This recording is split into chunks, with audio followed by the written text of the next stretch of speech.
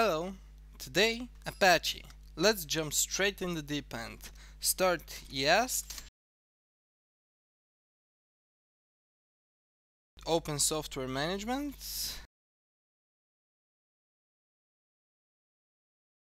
And as a search phrase, we're going to write YAST.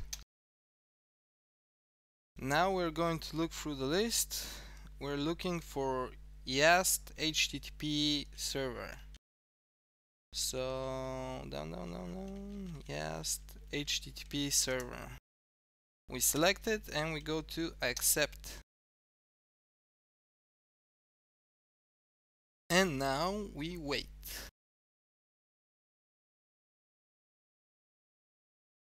It's done, we quit YAST and we enter it again.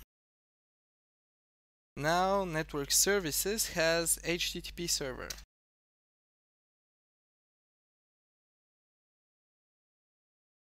We installed the YAST module, but we didn't install Apache itself. So we have the configuration tool, we don't have the server itself. So we say install. Yeah, install. And we wait some more.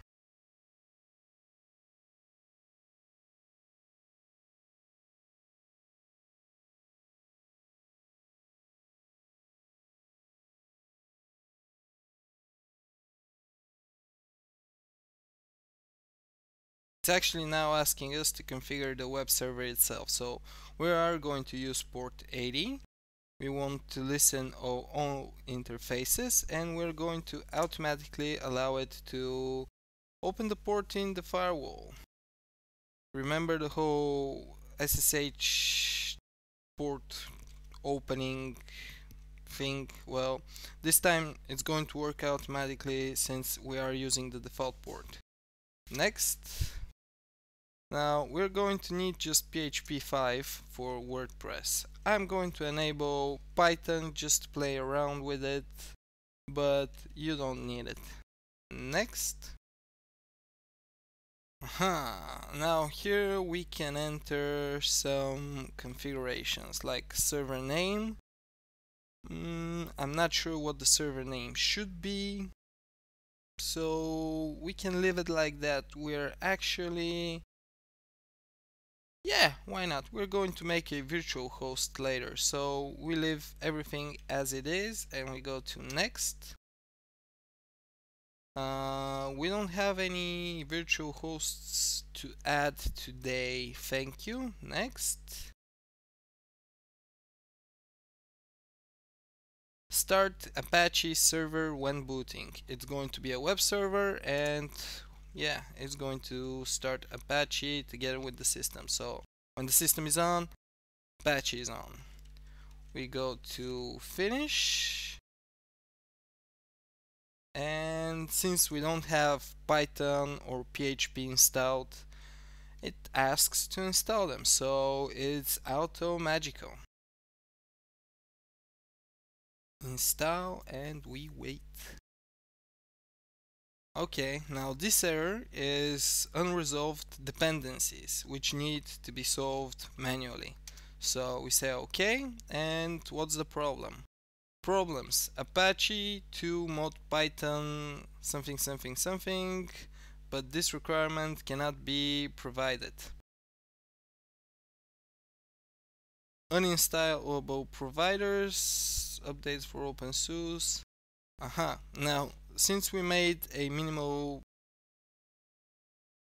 text-based installation, we currently have patterns OpenSUSE minimal base installed. So we're going to remove it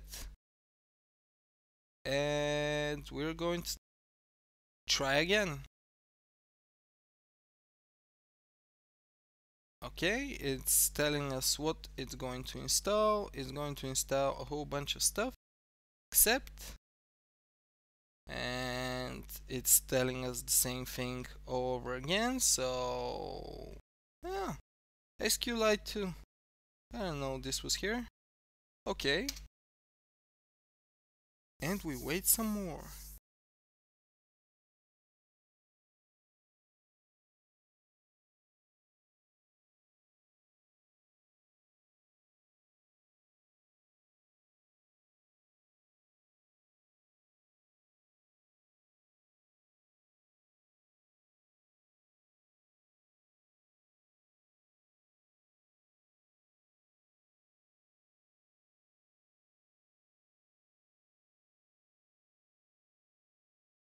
okay. And we should be done. Uh, we can quit Yast. Now in order to test out our web server we need a browser. So we're going to write zypper. Zypper with double P. Yeah. In for install and we want the links package. Zypper install links somebody should really comment on some of my videos someday to tell me if you can read anything at all through this transparent terminal window with the icons in the back and everything four new packages to install. Okay. We give it yes and we wait.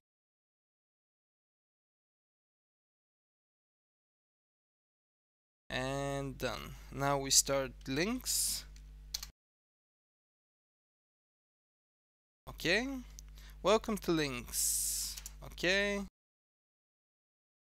Uh, we press escape to get at the menu up here. And we use the arrows to move around.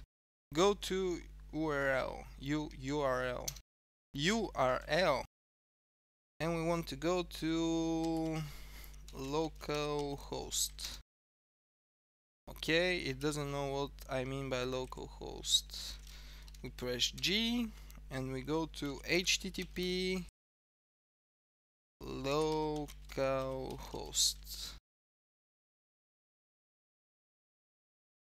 And this is it, you don't have permission to access the requested directory, there is either no index document or this is exactly what we wanted to see. Press escape again and we exit. Now this isn't quite perfect, so we're going to make yeah, we're going to make an index file now. We write nano srv www um, htdocs yeah nano server www htdocs and we want to make an index.php file. It's going to be a very simple php script that's going to say just that's not p php and it's going to be php info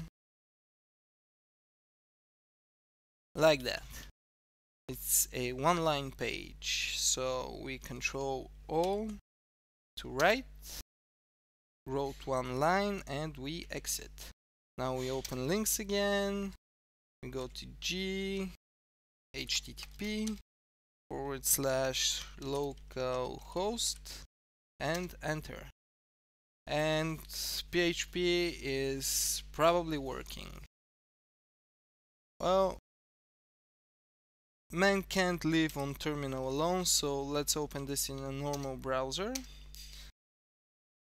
As I said earlier, but I probably cut this out, so uh, we don't know what IP address we have to access the system from the outside we are currently opening the web page from the web server itself.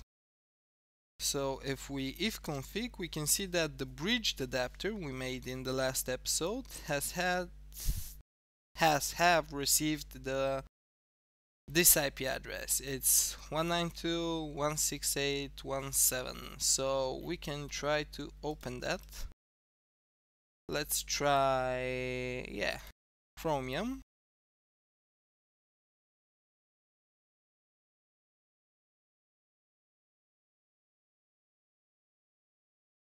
We can try... No chance. yeah. Did I call it like that? Is it something else?